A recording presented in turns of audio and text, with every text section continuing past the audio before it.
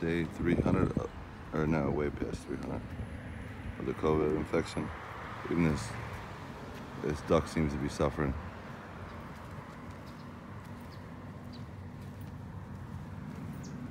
Where's that lizard? Oh, lizard's over there. Oop.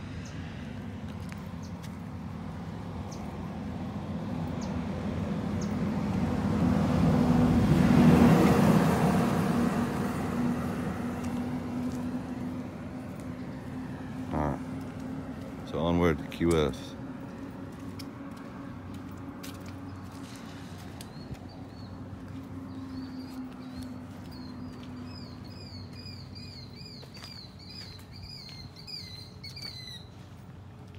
Was coming out. On.